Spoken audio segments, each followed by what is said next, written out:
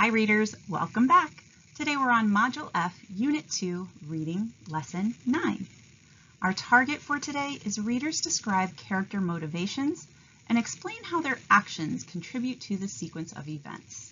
So we're, we're thinking about what is motivating a character and how that contributes to the things that are happening in the story. All right, same materials as every single day, I feel like, for the last several days. You'll need your uh, copy of The Missing Manatee, your book club book, your reading journal or something to write on, and a pencil or something to write with. Listen and follow along as your teacher reads Chapter 18 of The Missing Manatee. So today we're going to be considering characters' actions and their behaviors and then asking why. Because when we ask why, that leads us to the character's motivation, the reason why they are doing something in a particular way. So, mystery readers ask why. So I'm going to be um, putting some events, some character actions in the left-hand side of this chart, and then I will ask why and reveal what I think is motivating the character to do this thing. So the first thing I have up is that Dirty Dan followed Skeet to the manatee spot. Ooh, pretty creepy, right? Why did he do that? Well, I'm thinking that the reason why is he wanted to confront Skeet to tell him the truth. So he followed Skeet to the manatee spot because he wants an opportunity to explain himself. That's what motivated him to follow Skeet. What else happened? Dirty Dan reveals to us that he let Blink shoot the gun. Why in the world would he ever let Blink do this, knowing that Blink has some special needs um, and it could be dangerous? Well, he tells us that he didn't think there would be any harm in letting Blink shoot at, a, at tennis balls in the water.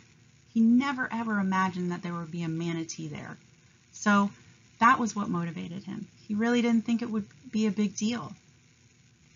Another event,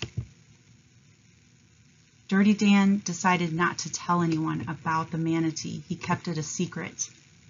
And we find out in this chapter the reason that he kept it a secret wasn't because he was being mean or vindictive.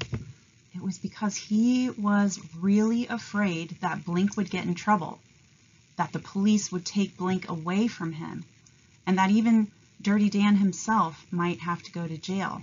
So he was afraid. He didn't want anybody to know. He just hoped that it would go away. So this is how we think about characters' actions. Ask why to determine their motivations behind why they are acting in a particular way. All right, let's move on to the next slide. You guessed it, now it's time for book clubs.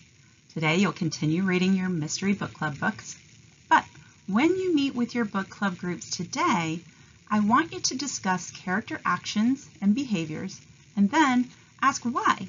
So jot down their actions and behaviors and then as a group ask why in order to determine what is motivating the character to do whatever it is that they're doing. So you're going to be doing this work as a group today.